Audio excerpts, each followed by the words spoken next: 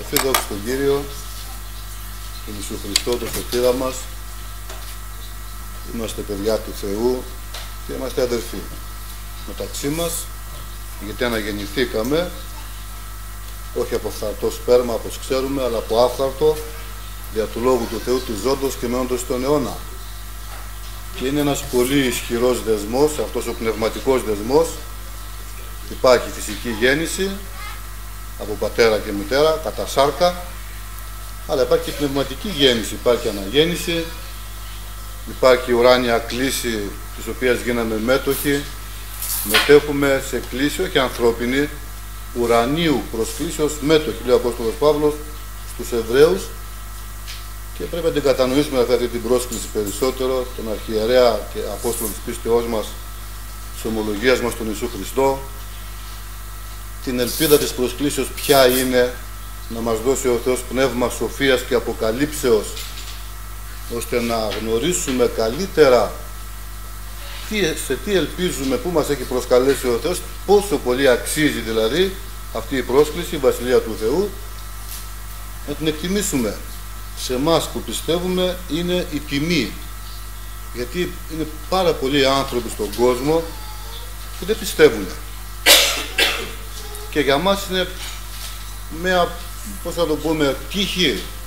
Πρέπει να θεωρούμε τους εαυτούς μακάριους. Θυμάμαι μια φορά που μου είπε μια συνάδελφος στο σχολείο εκεί που δουλεύαμε, που στο ομολόγησα για τον Κύριο, που είχα περάσει και λίγο και λέει σε ζηλεύω που μπορείς και πιστεύεις. Και πρώτη φορά το άκουσα αυτό. Και το κατάλαβα και εγώ, λέω, Πραγματικά, για άλλοι άνθρωποι, πολλοί άνθρωποι δεν μπορούν να πιστέψουν. Τώρα γιατί ο Θεός ξέρει, ναι, ναι, παραδέχομαι λέει το Ευαγγέλιο, είναι η ανώτερη ηθική διδασκαλία.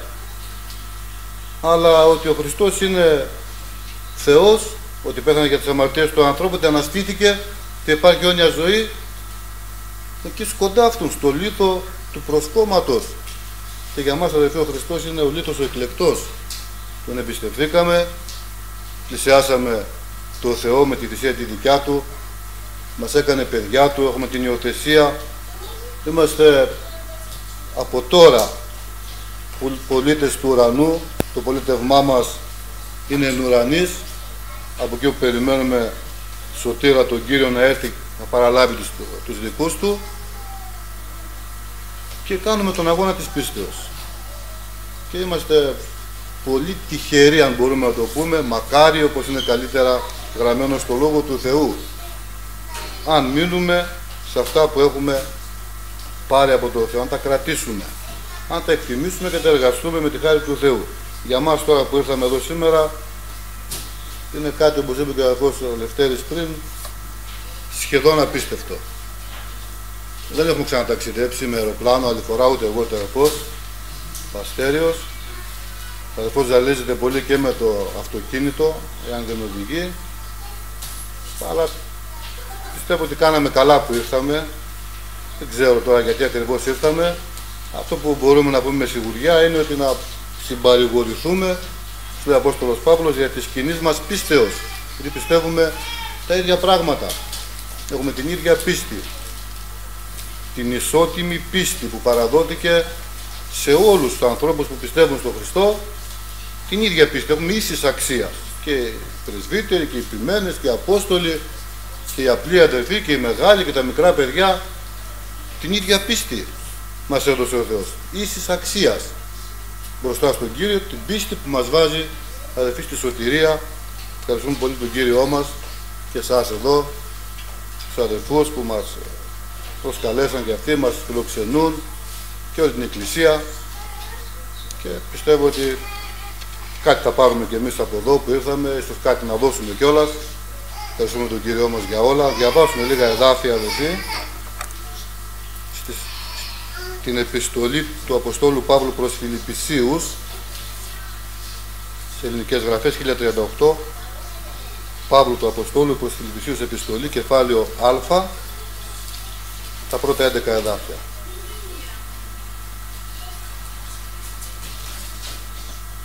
Παύλος και Τιμόθεος, δούλοι του Ιησού Χριστού, προς πάντα στους Αγίους εν Χριστώ Ιησού, τους όντας εν Φιλίππης μετά των επισκόπων και διακόνων. Χάρις ή ημίν και ειρήνη από Θεού Πατρός ημών και Κυρίου Ιησού Χριστού. Ευχαριστώ τον Θεό μου άκη σας ενθυμούμε, πάντοτε εν πάση προσευχή μου υπερ πάντων ημών, δεόμενος με τα χαράς, για την στο Ευαγγέλιον κοινωνίαν σας, από τις πρώτες ημέρας μέχρι του νυν. Βέβαιος όνεις αυτό τούτο, ότι εκείνος ως της ήρχισεν εις εσάς καλών έργων, θέλει επιτελέσει αυτό μέχρι τις ημέρας του Ιησού Χριστού. Καθώς είναι δίκαιον σε μένα φρονό τούτο περί πάντων ημών, διότι σας έχω εν την καρδία μου και είστε πάντες εσείς και εις τα δεσμά μου και στην απολογία και στην βεβαίωση του Ευαγγελίου συγκοινωνή μου της χάριτος, διότι μάρτης μου είναι ο Θεός, ότι σας επιποθώ πάντα μες σπλάχνα Ιησού Χριστού.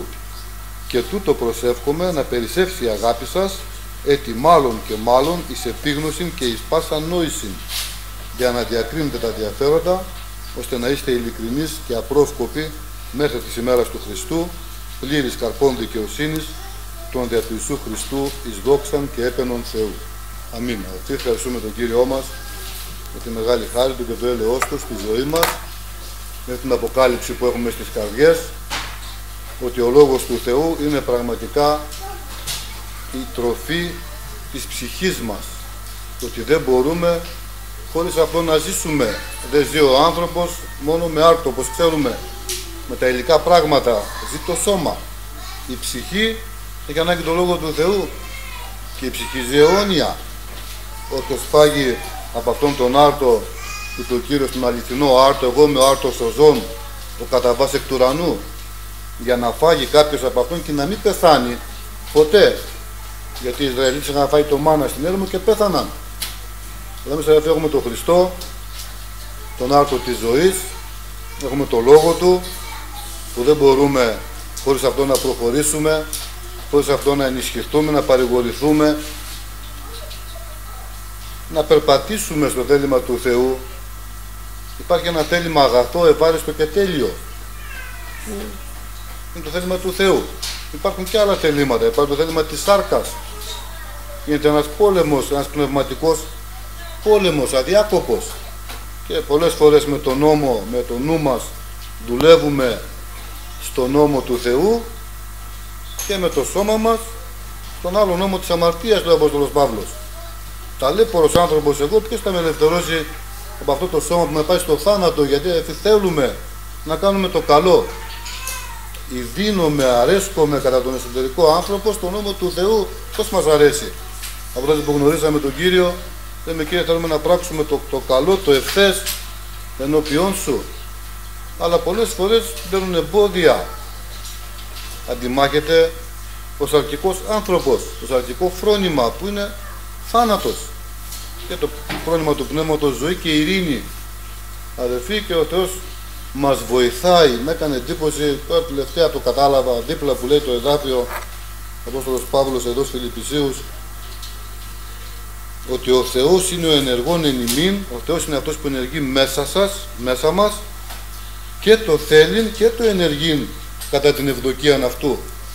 Και το να κάνουμε το καλό αλλά και να θέλουμε το καλό, να θέλουμε να κάνουμε το καλό ο Θεός το ενεργεί μέσα μας. Ε, δεν είναι από εμάς.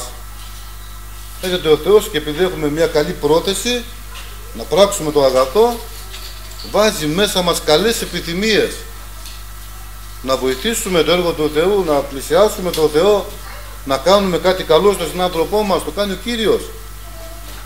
Και ό,τι κάνουμε δεν και ό,τι δεν κάνουμε είναι χάρη από τον Θεό. Ό,τι και να κάνουμε ευχαριστούμε τον Κύριο γιατί το έργο είναι δικό του.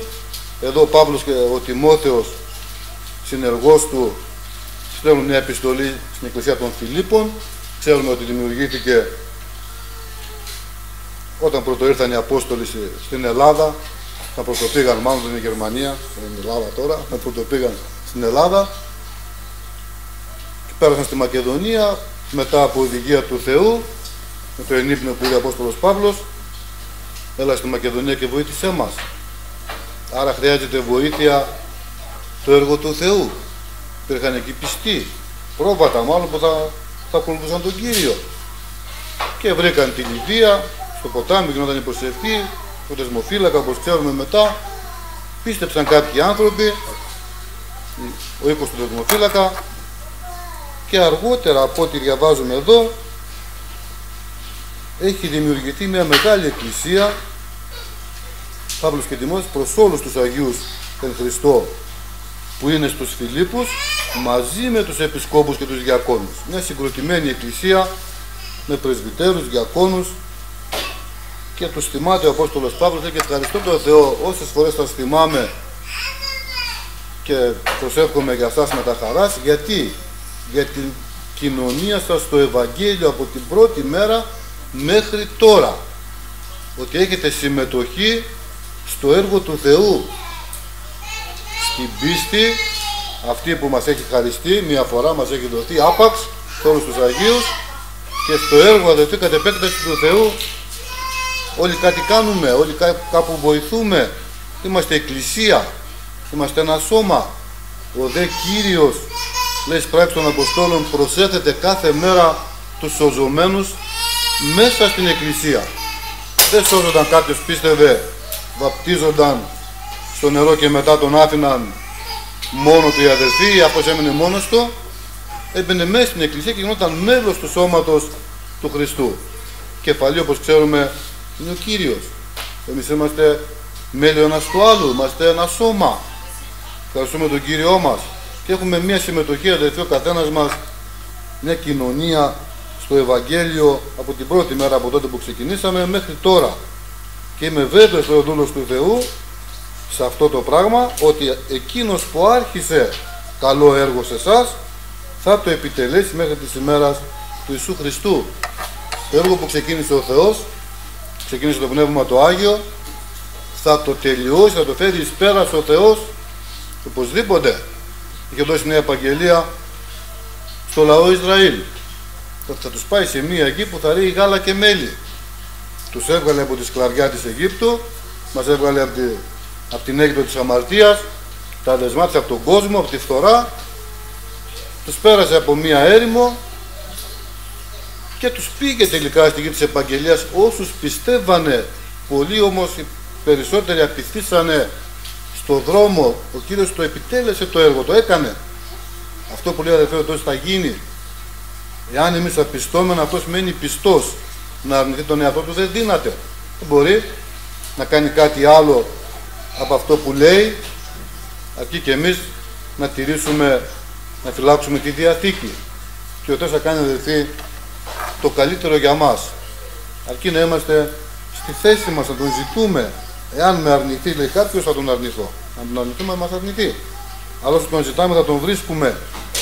Και είστε λέει όλοι μες στην καρδιά μου. Εσείς σας έχω και στην απολογία, γιατί χρειάστηκε να απολογηθεί μπροστά σε ηγεμόνες βασιλείς, στα δεσμά μου, στη φυλακή και στη βεβαίωση του Ευαγγελίου, συγκοινωνεί μου της χάριτος. Είναι η χάρη του Θεού και εμείς αδελφοί είμαστε συγκοινωνείς σε αυτή τη χάρη.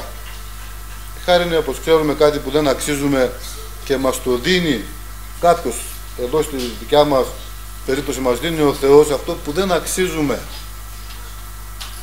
Είπα αργότερα ο Απόστολος Παύλος ότι κοπίασα πιο πολύ από όλους τους Αποστόλους, αλλά όχι εγώ. Η χάρη του Θεού που είναι μαζί μου, αυτή με βοήθησε να κοπιάσω. Και να μείνουμε αδελφοί σε αυτή τη χάρη. Λάβαμε από το πλήρωμα του Θεού. Τόσο είναι αγάπη. Η αγάπη του Θεού με στις καρδιές μας. Εκεχημένη για του Πνεύματος του Αγίου τις καρδίες ημών. Και αυτή η χάρη πρέπει να αυξάνει. Και λάβαμε και χάρη αντί χάριτος, μία χάρη κατόπιν της άλλης χάριτος και προχωράμε αδελφοί με τη χάρη του Θεού. Πού προχωράμε; Και προσεύχομαι λέει στο 9 εδάφιο να περισσεύσει η αγάπη σας περισσότερο και περισσότερο σε επίγνωση και κάθε νόηση για να διακρίνετε τα ενδιαφέροντα να ξέρουμε αδελφοί καλά το Λόγο του Θεού, το θέλημα του Θεού σε επίγνωση, αυτό σημαίνει επίγνωση, μια βαθιά γνώση, όχι μια απλή γνώση, το σκεφτόμουν όταν ερχόμασταν. Λέει στον προφήτη Δανίλ στο τέλος, σε σκατές ημέρες, σε τελευταίες, πολλοί θα περιτρέχουν και η γνώση θα πληθυνθεί.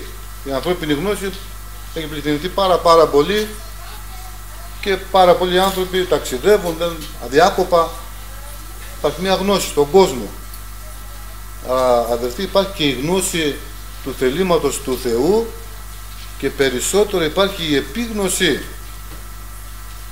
και κάθε νόηση να μπορούμε δηλαδή να τα καταλαβαίνουμε ήθελε ο, ο Παύλος τον Τιμόθεο να σου δώσει ο Κύριος σύνεση εις πάντα να εννοείς αυτά που λέω, αυτά που λέμε, δηλαδή αυτά που ακούμε από τα κηρύγματα αυτά που λέει το Πνεύμα τώρα για να τα καταλαβαίνουμε ώστε να τα βάζουμε σε εφαρμογή να μπορούμε να ξεχωρίζουμε τα διαφορετικά πράγματα τι είναι καλό, τι είναι κακό ώστε να είστε ειλικρινείς και απρόσκοπτοι μέχρι τη ημέρα του Χριστού. Δηλαδή να μην σκοντάφτουμε ό,τι και να γίνεται στη ζωή μας δια του Κυρίου λέει ο Δαβίδ θα υπερπηδήσει ο τείχος.